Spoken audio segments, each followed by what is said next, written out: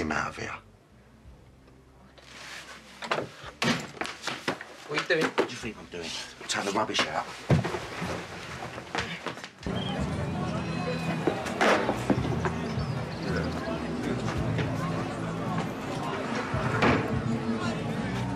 What'd you do that for? Get that off. What, you want me to just stand here naked or something? I something? swear on my Mick, mother's life, you. Elle must have seriously lost the plot to let that wretch in my bosom. Good to see you too, Mick. Oh, you want a clump? Is that what it is, yeah? What's the matter, Mick?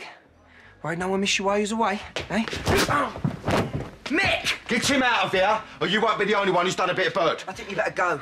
You wonder why Linda sent me? Because of the mess you left behind.